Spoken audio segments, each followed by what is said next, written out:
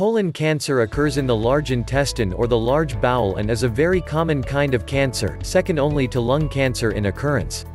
The risk of colon cancer is higher in certain groups and ethnicities, as well as in people living in Western industrialized countries. The positive side is that colon cancer also has a very high rate of cure and survival. Colon cancer is also known as colorectal cancer. The large intestine has two sections, the upper portion is the colon and the lower portion is the anus or the rectum. Cancer in the large intestine can spread over both regions, which gives it the name colorectal cancer. The colon absorbs water and nutrients during food digestion. The rectum, on the other hand, serves to expel waste material from the body. There are four parts to the colon, and cancer can start developing in any of these parts. The cancerous growth in the colon usually starts as a polyp. A polyp is a small tissue growth. This polyp will grow into the colon and if left untreated it can develop into cancer over a period of time. A specific type of polyp, called adenomycin, is the primary seed of colon cancer.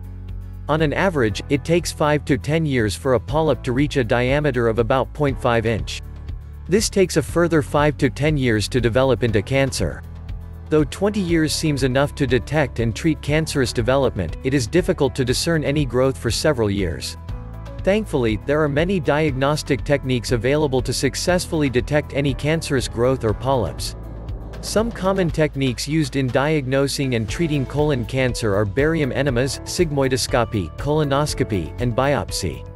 Apart from this, patients can be screened to discern any blood in the stool or unexplained iron deficiency to find out if there is any polyp or cancer developing. Colon cancer is a widespread disease, and a lot of research is underway to increase survival rates and aid early diagnosis. There are also many foundations that aid colon cancer patients and provide information to people.